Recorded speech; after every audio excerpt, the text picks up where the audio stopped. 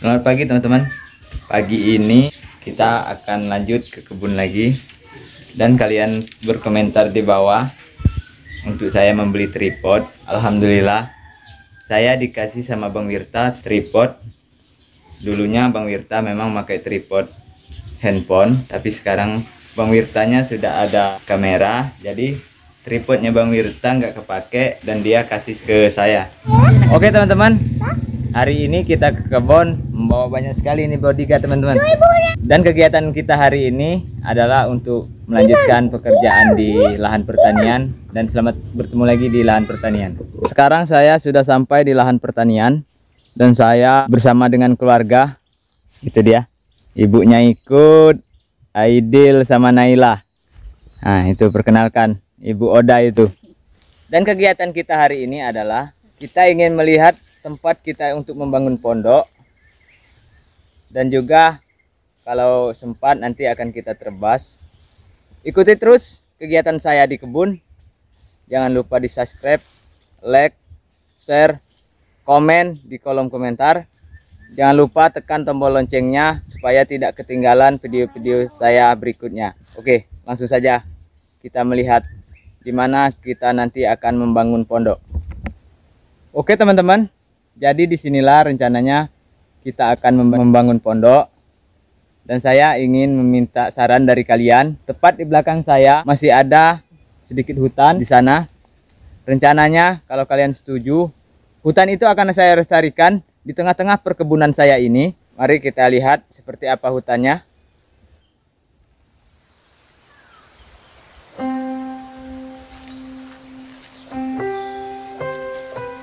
Inilah penampakan hutannya teman-teman. Itu.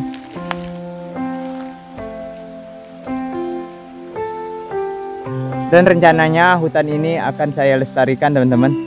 Jika kalian setuju.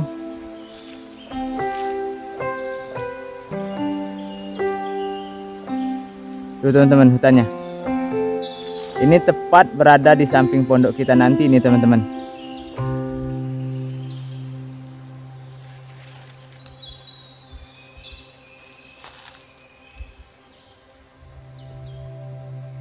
Jadi apabila kalian setuju, tuliskan komentar kalian di bawah.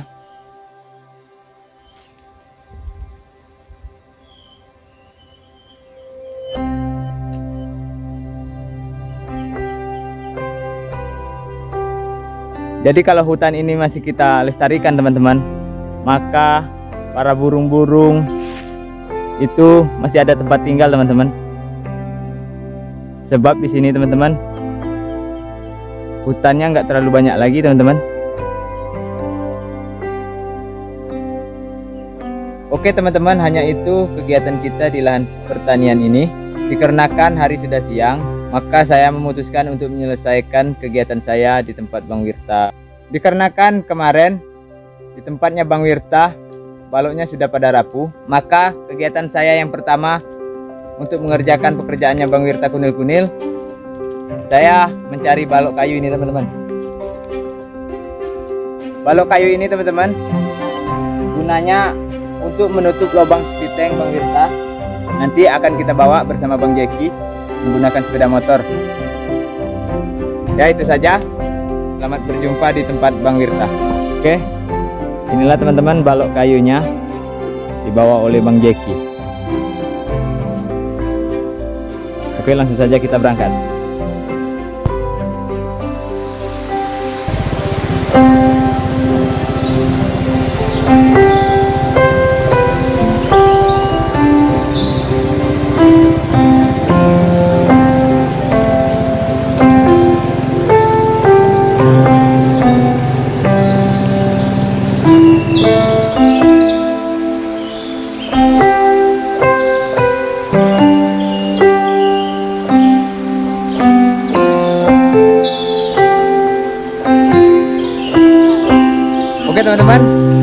sudah berada di tempatnya Bang Wirta Gunil-Gunil dan kegiatan kita hari ini adalah memasang balok kayu ini ke lubang itu teman-teman. Oke, langsung saja kita kerjakan kegiatan menutup lubang kiteng teman-teman.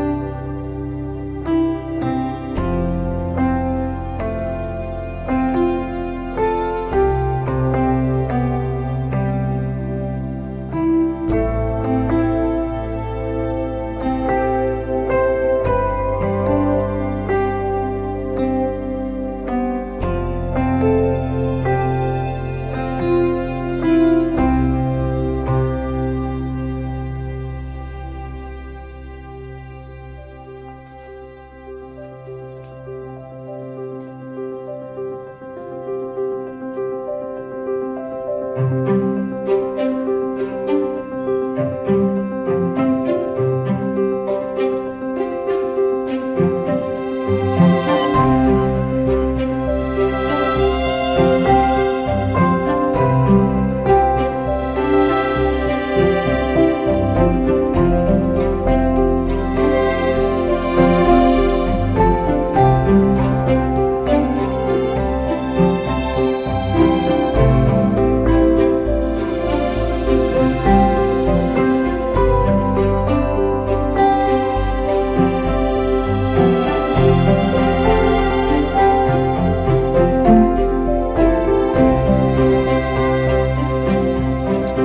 teman-teman, selesai sudah kegiatan kita hari ini yaitu menutup lubang spiteng Bang Wirta. Tapi ini belum selesai teman-teman. Karena belum ada call setnya teman-teman. jadi saya bikin seperti ini dulu teman-teman nanti kalau ada semen pasir sama klosetnya kita lanjut lagi untuk pemasangan klosetnya oke itu saja video dari saya jangan lupa di subscribe like share tuliskan pesan di kolom komentar dan jangan lupa tekan tombol loncengnya supaya tidak ketinggalan video-video terbaru dari saya